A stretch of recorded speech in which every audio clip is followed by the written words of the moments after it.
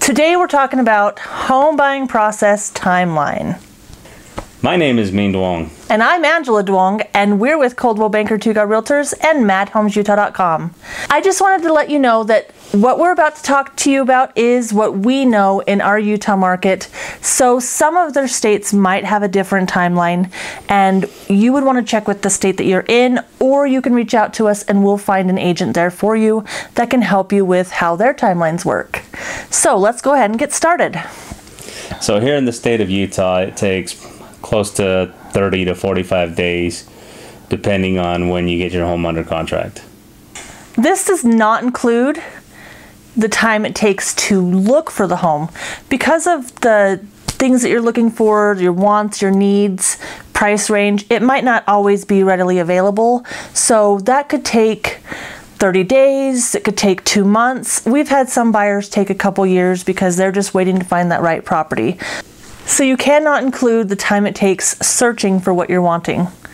The other thing that might add to your timeline is the fact that if your credit scores aren't perfect or you want to get them higher for a better interest rate, that's going to take time. Could be a couple months, could be a little bit longer. Maybe you need to pay off some debts. So that can't be included in the timeline we are about to talk about. So the first step is what happens when you first get the contract accepted? So during the 30 to 45 days of getting the house under contract, um, first thing that's going to happen is you're going to receive seller disclosures, which is typically anywhere between five to seven days. For those of you guys who don't know what seller disclosures are, it's basically seven to eight pages of a little bit about history of the house, anything that is to the best of the knowledge of the homeowner, how long they've lived there, if they've ever had any problems, things like that. The next step into the buying process is going to be the home inspection. From the time you get the contract accepted, usually it's about two to two and a half weeks, depending on the dates that you put in the contract. And what you're going to want to do is go through the home with the home inspector. Usually costs about $300, give or take, depending on the size of the home and what you want them to do. Um, what you're going to want to do is go through the report to see if it looks okay.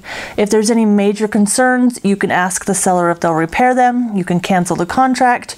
If they're minor, you can go ahead and say, hey, we're good with that and take care of them after the house is closed. During the time of the seller's disclosures and the home inspection, you need to make sure you keep your lender updated on any paperwork or anything else they need so we can continue the process smoothly.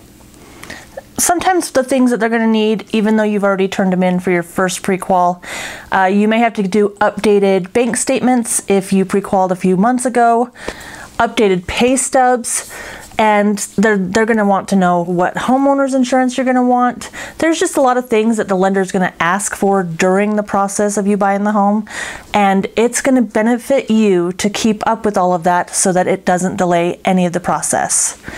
So what happens next is the appraisal and financing deadline.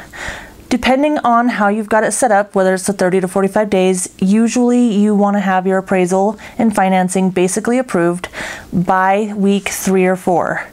So, what you need to do is make sure everything has been given to the lender, your appraisal has come in good, and then you can move to the closing stages. And always remember, time is of the essence. So, the final step in the timeline is the settlement process. Me? Yeah. Okay. So at the settlement, which is the 30 to 45 days, you're going to get some closing disclosures about three days before. It has to be at least three days before your actual signing date. And it's going to show you all the numbers to make sure that you're good with everything. And then when it's time to close, which will be your settlement deadline, date on the contract, that is when you're going to go into the title company and you will sign all the documents. Don't be afraid, work your hands. Some of those packets are about that thick but it is very, the title company goes over all the details and we're there to answer any questions.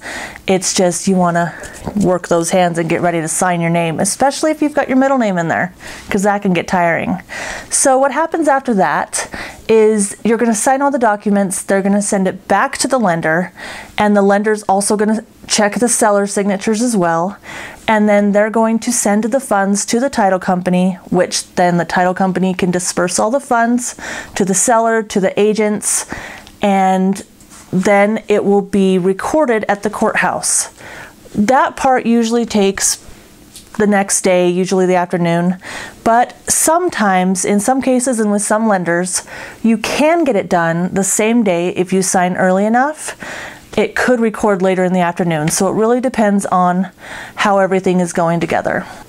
After you get your house recorded and everything, and everything's done, it's when we turn over the keys and the home becomes yours. And, And that that is, is the home buying buying process process timeline in in a a nutshell.